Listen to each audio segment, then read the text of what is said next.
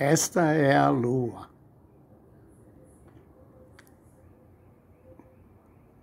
Ora, ela é encoberta por nuvens.